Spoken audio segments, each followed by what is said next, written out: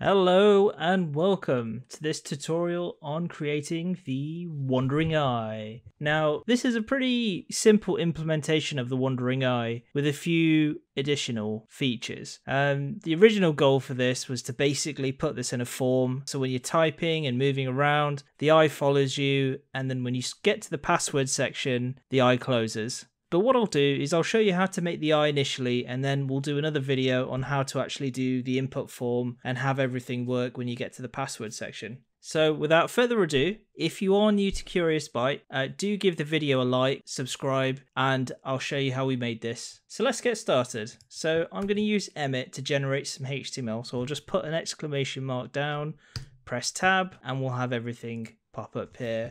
And I'll put following eye as the title let's put some content down. Now, the first thing we need is a wrapper to contain all of this work in. So let's do that now. Do a div of wrapper, and within that, we'll contain uh, the element for the eye, and within that, we will contain the element to have the eyelid shut as well. And we'll have a span as well. We also need our eyeball. So within the eye, we'll just add our eyeball as well. And there we go. That's everything sorted. So let's hop into the CSS. So let's sort out the actual body of the site first and just add some simple styling. First off, we don't want any margin. Remove the padding as well. And we'll set a background color to 333, let's say. There we go. Nice basic gray. You can set it to whatever you want. Uh, and let's deal with the wrapper. So we want it to be position absolute. And we'll set a background just for now so we can see it. Uh, we'll say top 50%, width 100%. So let's sort out the wrapper. So let's say position absolute, uh, top 50%. And we basically want to just place this in the center. You don't really need this. Um, and this will change based on your implementation. And then we'll just align this to the center as well, just to make sure that we get all the content in the center. So let's move on to the actual eyeball itself. So we'll say that has a width of 240 pixels, that has a height of 120 pixels, and we'll add a background of white, obviously, and we'll make it inline block, and we'll give it a margin of 40 pixels and we'll give it a border radius as well. So we'll say about 50% because we want it pretty, uh, pretty eye-shaped. And then we want it to basically be a container. So when we set it to position relative, what we're saying is anything that's absolute within that will essentially be contained or be relative to the container, which is the eye. And you'll see why that's relevant in just a short moment. And we want the overflow to basically contain this. So, so we want all of the content to stay within here. So we want the eyeball and the eyelid to basically not go outside and flow outside of the container and the border radius. Now, after we've added that, as you notice when you hover over, you just still see the like the, the normal pointer. So I want to change that so it looks like it's interactable, which it will be, because once you hover over it, it will actually close the eye. Uh, we've added the eyeball. I think that's everything for the eyeball now. We've got the general setup going. Let's move on to the actual eye itself. So for the eye itself, or the eyeball in the center, what we want to do is we'll give it a width of 40 pixels give it a height of the same and we'll add a black background and we'll also want it position absolute. Now because we've set the container as relative, this will basically just bounce around inside it and this will act like a magic container that holds it. It's not magic, it's science. Because them are the facts.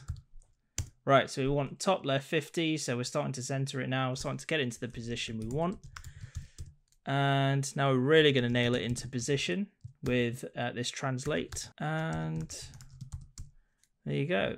Right, now we want to add a border onto this eye. So we could say teal, uh, which I think that's what we'll stick to. We'll just stick to a greeny, bluey teal color. Um, we'll go border radius and we'll say 50% as well. So that'll basically make all of this a circle. And there we go. We've got our eyeball. So we're starting to get this to shape up. Now, we've got the eyeball in place. Let's animate it. So we want the eyeball to follow us around. So let's go ahead and do that now. So we'll say eyeball is a constant and we'll link it up to our ball uh, div, which is obviously here. So that'll be this eyeball here. And so now we've got this connected up into the eyeball constant.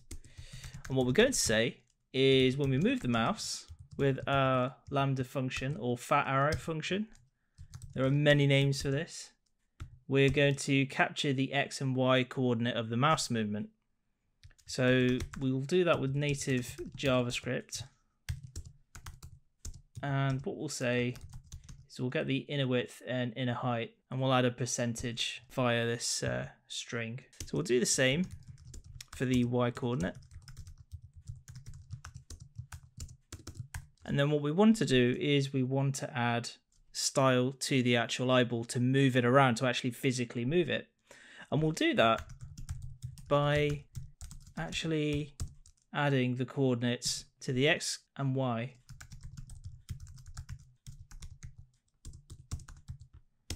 Last style that we need to add is transform and we're basically going to translate it to be is to stay in the center but where we want it to go um, using the x and y coordinates so let's add the translate style and we will say minus let's get this right. This is going to be tricky. So we want to add x and obviously a comma because it's similar to the translate we've done before. We want a minus again. Right, and I believe that's everything. So let's go see if this works. Whoa, and there we go. We've got an eyeball. Now, one thing you might have noticed in the initial preview, we had an eyelid. And it's pretty weird if you have an eyeball with no eyelid. So let's go add that in now. And that can be added in with just CSS at this point.